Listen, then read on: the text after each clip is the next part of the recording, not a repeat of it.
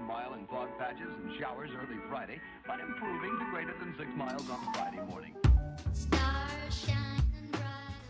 Hey guys, welcome back to my channel. Thank you. So it's finally, can't talk. Oh my goodness. so last week it was literally like a high of 80 degrees and now it is a high of 50 and it feels like it happened literally overnight. Um, so it is officially the time of the year where I am always freezing and just want to be wrapped up in a blanket all day. So that has inspired today's project. And this has actually been on my like little sewing list for such a long time. I've wanted to do this for so long. And we're going to be making a cozy jacket out of a quilt. And I thought this was funny timing because I literally just made my quilt DIY. So uh, you can always make a quilt and then do this, but I was feeling kind of lazy and didn't want to make a whole nother quilt. So I just got this one off of Amazon. Um, but you could also totally like thrift quilts, I'm sure. I've also seen some people who take like family, like old family quilts and then turn them into jackets so they're like used more and stuff. Um, so it's a really fun like way to use stuff like this. and like I said, I just always want to be under the covers. So I'm hoping this might help me get motivated to actually do stuff while it's freezing outside. But um, like I said, I got this one from Amazon. It is a queen size which is probably a little bit bigger than I'm going to need. Oh, Basil really likes it too. I've given her the pillowcases to sleep on because she keeps wanting to hang out on the quilt, which I might make into a little jacket for her later so we match. I'm tempted. But I'm hoping this will be a pretty easy project. It's gonna be like just a really basic jacket. So it should be beginner friendly. So um yeah, let's get started while I'm motivated to make something that's winter wear. Like I said, for some reason, Basil just really loved this quilt. And I'm not gonna make her a little matching jacket in this video, um, but it might be something that I make like on TikTok, so you can always follow me there if you would wanna see something like that. Um, but for these pattern pieces, they're honestly pretty simple. Um, I'm making this a really oversized style, so it could probably fit a bunch of different sizes. And the first piece here is the front piece. Um, we're just going to be cutting two of these. And the front is almost basically just the back piece cut in half.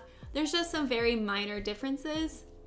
Um, and then for the sleeve piece, this is probably like the most complicated one to cut out, but I always just kind of freehand these and they tend to work out for me. Um, but one thing when you're making them is they're going to be almost symmetrical, except one side should just be slightly smaller than the other. And the bigger side is going to be the back side. And then this is just kind of a jumble of pieces, but I didn't actually end up using the back cinch. I was just planning to attach it to the back with two buttons, but I didn't have enough matching buttons to include it. Now, before we get to sewing, I very quickly want to take a minute and talk about the sponsor of today's video, Care of. And Care of is a subscription service that sends you high quality personalized vitamins, supplements, and powders to your door every month. And if you're someone like me who gets a little bit overwhelmed trying to figure out what kind of vitamins I should be taking, Care of is perfect for you because they have a super convenient online quiz that asks you a few quick questions about your diet, health goals, and lifestyle so they can recommend the right vitamins and supplements for your specific lifestyle and health goals. And Care of also makes it really easy to remember to take your daily vitamins because they come in these daily personalized packs and these are also made out of a plant-based film that makes it compostable. And some of the vitamins that are included in my daily package are keratin because I said I wanted to focus on my hair health, as well as a vitamin B12 for energy support and a multivitamin to fill any of my nutritional gaps. And these little daily packages have made it super easy to work into my daily routine. And they're also so cute. They oftentimes have like little questions on them or motivational things and I just think it's really precious. So you guys should take the Care of quiz to see what vitamins and supplements they recommend for you. And then you can click the link in my description and use my code PAPERSTXRS and you will get 50% off your first order with Care of. Thank you so much to Care of for sponsoring today's video. And now let's get to sewing. Alright, now that we have all of our pieces, which by the way, the queen size quilt like fit them perfectly and I just had just a little bit left over. But I also decided to make my coat super long, so if you want a shorter style coat, you could probably get like a full size. But uh, now I'm going to take my front and back pieces and putting them pretty side to pretty side, I'm going to attach one of my front pieces to either side of my back piece and I'm going to sew them together down their side seams and shoulder seams.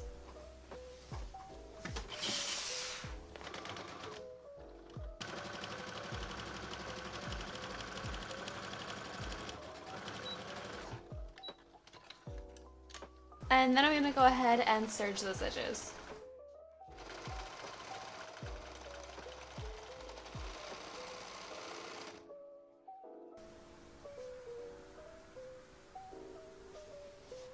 Alright, and now I just tried on the coat and I decided I did want it to be a little bit more shapely than it is right now. So I added some pins and tried it on to make sure this is where I want them. And now I'm just going to start up here and take it in a little bit and then make it go back out. And I'd say I'm taking off about two inches on either side.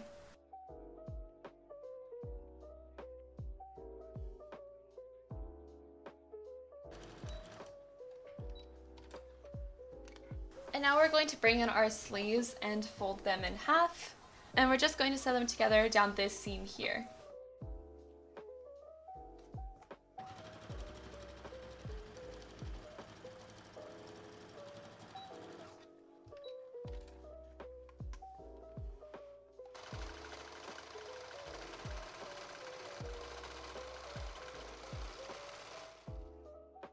And now we're going to take both of our sleeve pieces and we're going to add two parallel basting stitches starting about here, going around and stopping in here. And we're going to use that to help fit the sleeve to the armhole. And a basting stitch is just the longest stitch on your machine. So I'm just putting it on my regular straight stitch and turning the length all the way up.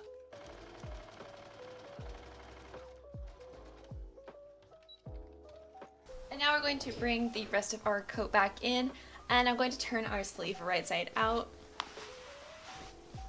and while I was cutting it out, I showed you guys that one side should be a little bit bigger on your sleeve and the bigger side is the back side.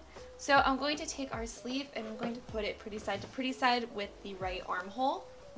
And I'm going to line up the bottom seams first and pin them in place. And I'm going to keep pinning it up until we reach those basting stitches.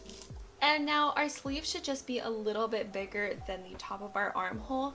So we're going to take those basting stitches and we're going to pull on two of the stitches on the same side of the fabric. And when you pull those, it should start to gather up the fabric. And we're just going to lightly gather it up so that it can fit into the armhole. Those little barks are Basil sleeping. She's totally out. And once that's pinned in place, we can sew all the way around with a regular straight stitch.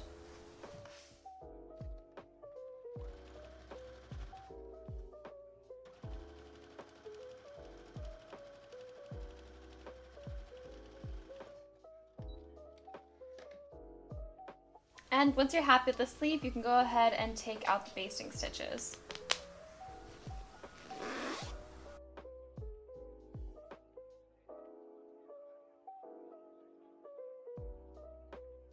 Now that our sleeves are all done, I'm going to go ahead and start adding in our pocket. Um, and this step's optional, you don't have to do it, but I want somewhere to put my hands so that they can get all nice and warm. Um, and so I tried on my coat and I marked out like where I want the pocket to go. And so now I'm going to mark the bottom of this piece. And we're only going to be seeing the top of the pocket. The big part of the pocket's actually going to be on the inside, so you just need to mark this little piece, which I just folded in half. And then I'm going to take this off. And I think I want the lining to be the part that's sticking out instead of the pattern. So I'm going to make that my pretty side and fold this in half. And I'm going to stitch it down either side.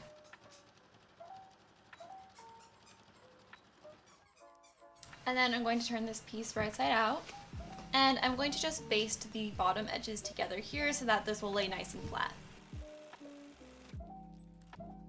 And now I'm going to bring that part of my jacket that we marked out again back. And I'm going to take this piece that we just sewed and I'm actually going to flip it upside down and line it up with that edge. And then I'm going to take our other pocket pieces and I'm going to have one of them match up with this same edge here and pin these all together.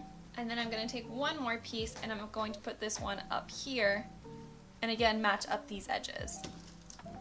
You know, and I actually should have made these pockets a little bit wider so that they go a little bit past this because right now we have just a really tiny seam allowance. But um, where we hit this little flap here, that's where we're going to pivot our edges on either side. So we're going to sew down one edge here on one side of this like raw edge and then we're going to turn it and kind of make a little rectangle right over this. And then we're going to sew back to the other side and again pivot and go to the other side. So we're basically just sewing like a really skinny little rectangle.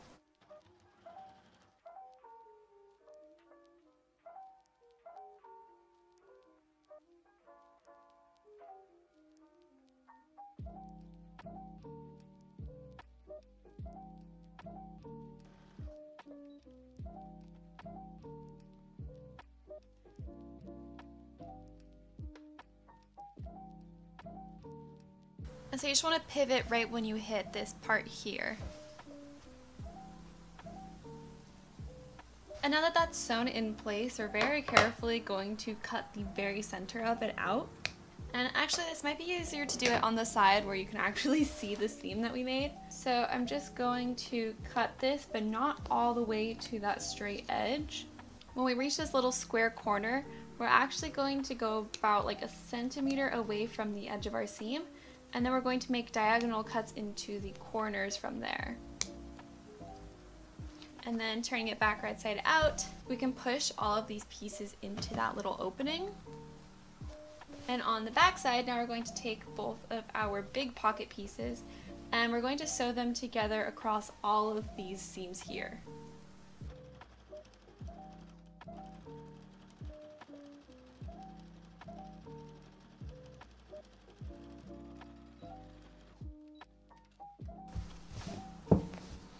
And then the last little thing to do on this pocket is to just top stitch the edges here down.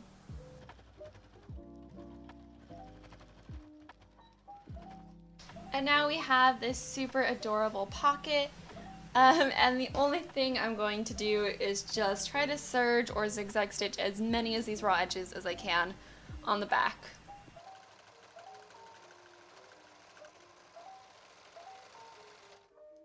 And I'm just taking the excess of my quilt um, and I'm actually going around all of the edges and seam ripping out this bias tape because I'm going to use this to finish my coat. And you could totally also just buy bias tape or make your own, um, but you know, I figured this one's here and it perfectly matches my fabric, so might as well use it. And now this is the neckline of our jacket and we still need to attach the collar. Um, but before we do that, I'm actually going to finish up this edge here as well as this one because the collar is going to start here so we have a little bit of overlap for our buttons. So what I'm actually going to do is I'm just going to round out this edge a little bit and go about an inch in and half an inch deep and then I'm just going to cut straight up.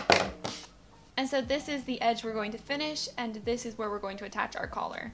So now I'm going to take my bias tape and I'm just going to fold this edge over before I put it on because that'll give us a finished edge. And then I'm going to start attaching it around my raw edges.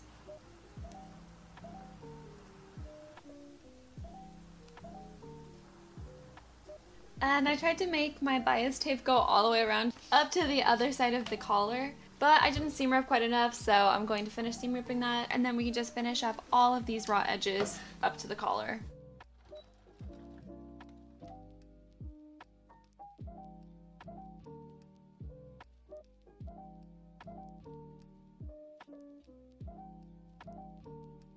So like I said, I just finished adding bias tape all around the sides, bottom, and all around the other side.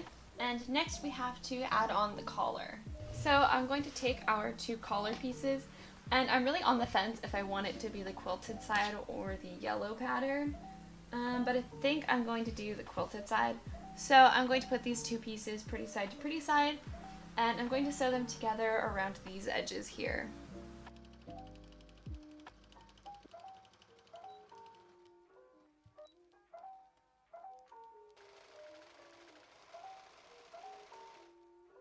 And now at these corners, I'm going to dog ear them, which means I'm just going to cut straight across without cutting into my seam so that it has an easier time turning right side out.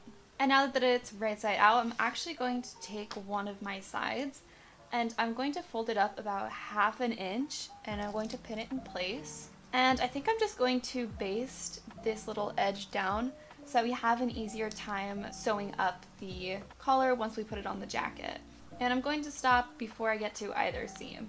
So this is just to kind of help us later.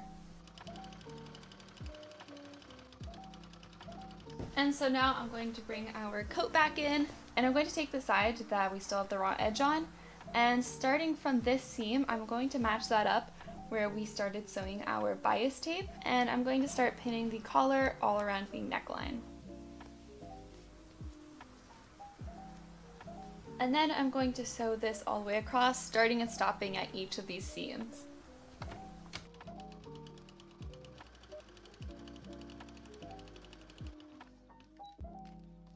And this seam is looking pretty thick, so I'm going to serge down this edge to hopefully take off some of that thickness.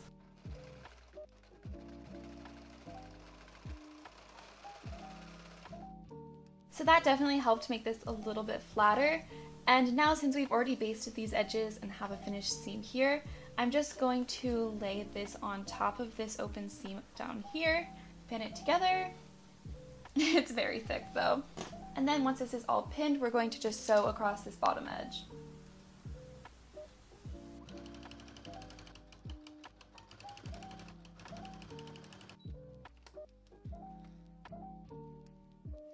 And then I'm going to take out these basting stitches. And then I think I'm also going to stitch around the perimeter of the collar to make it lay a little flatter.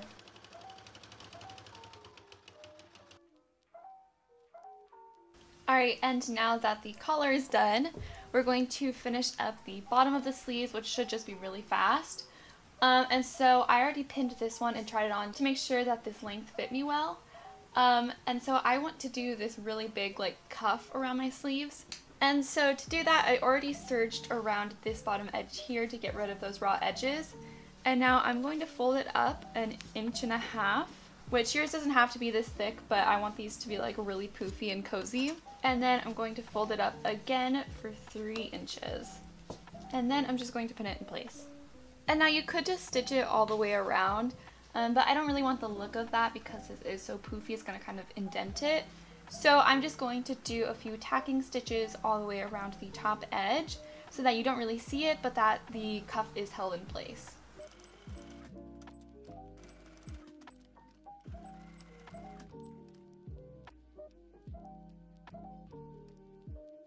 Alright, and now we are almost done with this coat. The very last thing we have to do is add the front, I was gonna say add the frontons down the back, we have to add the buttons down. That's, that doesn't even make sense. Um, the last thing we have to do is add the buttons down the front. And so I tried it on and I marked out where I want all the buttons to go. Mine are all 8 inches apart. And quite honestly, I probably would have put them a little closer and not put so much space between them. Um, but I was going through my button stash and could only find four of these buttons to use. So this is what I'm doing. And so I'm just going to switch out my presser foot for my buttonhole, stick the little button in the back, and set my machine to a buttonhole stitch.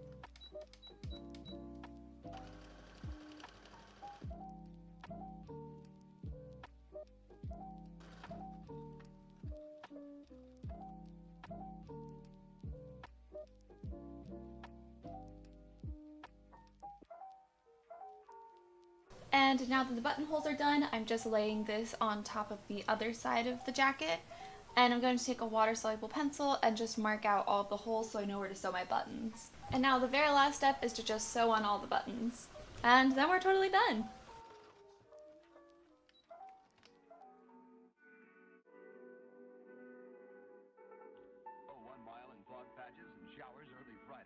And here is the final coat.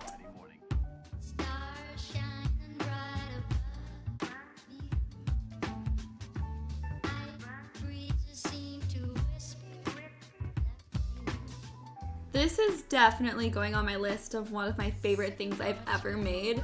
I really, really hate cold weather and I always have a hard time like feeling cute when it's cold. Um, but this totally does the trick. I wore it to class when it was like 40 degrees outside and I was so warm and cozy and it's also just so stinking cute. I got so many compliments on it all throughout the day and those pockets do such a good job at keeping my hands warm because they are like so thick and padded and like I said, I'm just always freezing. So this is definitely going to be something I am wearing all winter. And also I just had to leave in this little interaction I had. This girl was so sweet. Your jacket is so cute. Thanks, I made it. Really? It's so beautiful. I was you wear scrubs. it was a quilt. Good job. I love it. Thank you. But uh, yeah, that's the whole tutorial. I hope you guys liked it. Like I said, this project really isn't too hard, so I hope you guys give it a try and hope you guys stay warm this winter. I'll see you guys later.